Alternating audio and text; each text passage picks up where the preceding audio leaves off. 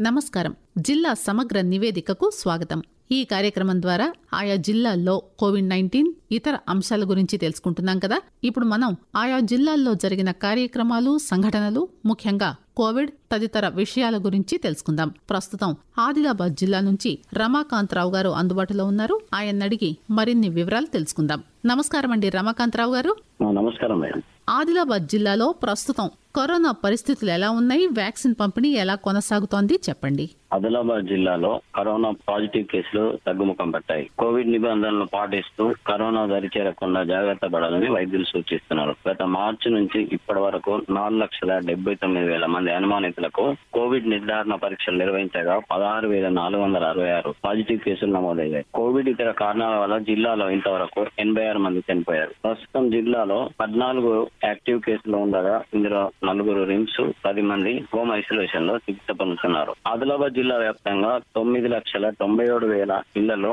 ఆశా కార్యకర్తలు వైద్య సిబ్బంది ఇంటింటి సర్వే నిర్వహించి పదమూడు వేల మంది అనుమానితుల్ని గుర్తించి వారికి మెడికల్ కిట్లు అందజేశారు. ఇంటింటి సర్వే నిర్వహణతో కరోనా పూర్తిగా తగ్గుముఖం పట్టింది. జిల్లాలో వ్యాక్సినేషన్ కార్యక్రమం కొనసాగుతుంది. జిల్లాలో ఇరవై తొమ్మిది వ్యాక్సినేషన్ కేంద్రాల ద్వారా మొదటి డోసు ఒక లక్ష పద్నాలుగు వేల మందికి రెండవ డోసు ముప్పై తొమ్మిది వేల మందికి వ్యాక్సినేషన్ వేశారు. అయితే కోవిడ్ కారణంగా మూతపడిన విద్యా సంస్థలు తెరుచుకుని ప్రత్యక్ష బోధన ప్రారంభమైంది కదా? ఆ వివరాలన్నీ తెలపండి. ఆదిలాబాద్ జిల్లాలో విద్యా సంస్థలు ఒకటో తారీఖు నుంచి ప్రారంభమయ్యాయి. కోవిడ్ నిబంధనలను అమలు చేస్తూ తరగతులు నిర్వహించారు. ఉపాధ్యాయులు విద్యార్థులు మాస్కులు ధరించి భౌతిక దూరం పాటిస్తూ చేతులను శానిటైజ్ చేసుకున్నాకే తరగతులకు అనుమతించారు. కొన్ని పాఠశాలలో థర్మల్ స్క్రీనింగ్ పరీక్షలు కూడా చేశారు. ఆదిలాబాద్ జిల్లాలో ప్రభుత్వ ప్రైవేట్ పాఠశాలలు ఎనిమిది వందల ముప్పై నాలుగు ఉండగా ఒక లక్ష పదిహేను వేల మంది విద్యార్థులు ఉన్నారు. అదేవిధంగా ముప్పై మూడు ప్రభుత్వ ప్రైవేట్ కళాశాలలు ఉండగా పద్నాలుగు వేల మంది అభ్యసిస్తున్నారు. పాఠశాలలో కళాశాలలో మొదటి రోజు హాజరు శాతం తక్కువ నమోదైన క్రమక్రమంగా హాజరు శాతం పెరుగుతుంది. జిల్లా కలెక్టర్ సిక్తా పట్నాయక్ డిఈఓ రవీందర్ రెడ్డి ఆయా పాఠశాలలను సందర్శించి ఏర్పాట్లను పర్యవేక్షించారు. అయితే వానాకాలం పంటల ప్రస్తుత పరిస్థితి వర్షాల గురించి చెప్పండి. ఖరీఫ్ సీజన్ ప్రారంభం నుంచి కురుస్తున్న వర్షాలకు పంటలు ఆశాజనకంగా ఉన్నాయి. ఆదిలాబాద్ జిల్లాలో పద్దెనిమిది మండలాలు ఉండగా తొమ్మిది మండలాల్లో సాధారణ వర్షపాతం నమోదు కాగా ఏడు మండలాల్లో అధిక వర్షపాతం నమోదైంది. జిల్లాలో ఇప్పటి వరకు పన్నెండు వందల పదిహేను మిల్లీమీటర్ల వర్షం కురిసింది. ఏకదాటిగా కురుస్తున్న వానలతో పూత కాత నీలరాలే పరిస్థితి నెలకొంది. తీరంలో నీరు చేరి మొక్కలు వడిలిపోయే ప్రమాదం ఏర్పడింది. జిల్లాలో నాలుగు లక్షల ఇరవై వేల ఎకరాల్లో పత్తి ఎనభై వేల ఎకరాల్లో సోయా డెబ్బై ఐదు వేల ఎకరాల్లో కంది పంట సాగు చేశారు. ఇకపోతే ఆదిలాబాద్ జిల్లాలో ఆయిల్ పామ్ సాగు గురించి ఉద్యానవన శాఖ రైతులను ప్రోత్సహించడంలో ఎలాంటి చర్యలు తీసుకుంటోంది? ఈ వివరాలు తెలియజెప్పండి. ఆదిలాబాద్ జిల్లాలో ఆయిల్ ఫామ్ సాగుకు జిల్లా యంత్రాంగం చర్యలు చేపట్టింది. జిల్లా వ్యాప్తంగా ముప్పై ఏడు వేల ఐదు వందల ఎకరాల్లో ఆయిల్ ఫామ్ సాగుకు లక్ష్యంగా ఉద్యానవన శాఖ అధికారులు కృషి చేస్తున్నారు. ఆయిల్ ఫామ్ సాగుపై గ్రామాల వారీగా ఉద్యాన శాఖ అవగాహన సదస్సులు నిర్వహిస్తున్నారు. ఉద్యాన శాఖ ద్వారా ఏర్పాటు చేసిన నర్సరీలో ఆయిల్ ఫామ్ మొక్కలు పెంచుతున్నారు.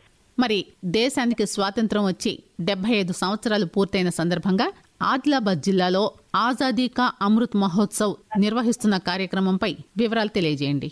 ఆజాదీ కా అమృత్ మహోత్సవ్ కార్యక్రమంలో భాగంగా ఆదిలాబాద్ జిల్లాలో సభలు సమావేశాలు ఫ్రీడమ్ రన్ నిర్వహిస్తున్నారు. నెహ్రూ యువ కేంద్రం ఆధ్వర్యంలో ఆదిలాబాద్ పట్టణంలోని ఇందిరా ప్రియదర్శిని స్టేడియంలో fit India freedom two K run నిర్వహించారు. టూకే రన్ను మున్సిపల్ చైర్మన్ జోగు ప్రేమేందర్ ప్రారంభించారు. అదేవిధంగా ఆదిలాబాద్ పట్టణంలోని జడ్పీ హాల్లో పంచాయతీరాజ్ శాఖ ఆధ్వర్యంలో ఆజాదీ కా అమృత్ మహోత్సవం నిర్వహించారు. ఇకపోతే ఆరోగ్య భారతదేశంగా మార్చడానికి కేంద్ర ప్రభుత్వం అమలు చేస్తున్న జాతీయ ఆహార భద్రతా చట్టం ఆదిలాబాద్ జిల్లాలో ఎలా అమలు జరుగుతోంది తెలియజేయండి.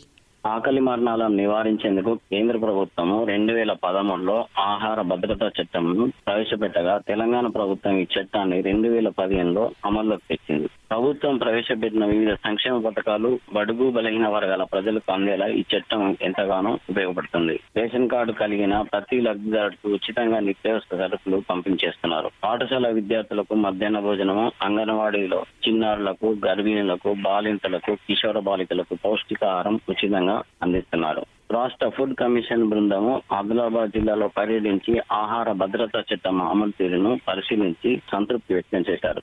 బాగుంది. ఇదండి ఆదిలాబాద్ జిల్లా నుంచి రమాకాంతరావు గారు అందించిన జిల్లా సమగ్ర నివేదిక. మరో రోజు మరో జిల్లా సమగ్ర నివేదిక విందాం. అంతవరకు సెలవు. నమస్కారం.